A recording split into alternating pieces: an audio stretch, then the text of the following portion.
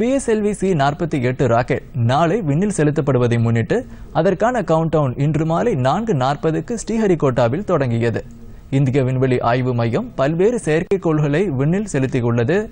இதில் செயற்கைக்கோள் ஏவு வாகனமான பிஎஸ்எல்வியின் ஐம்பதாவது பயணம் நாளை நடைபெறுகிறது.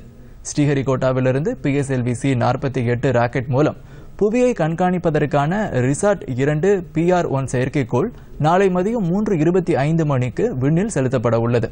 இந்த செயற்கைக்கோள் அறுநூற்று முப்பத்தி எட்டு கிலோகிராம் எடை கொண்டது.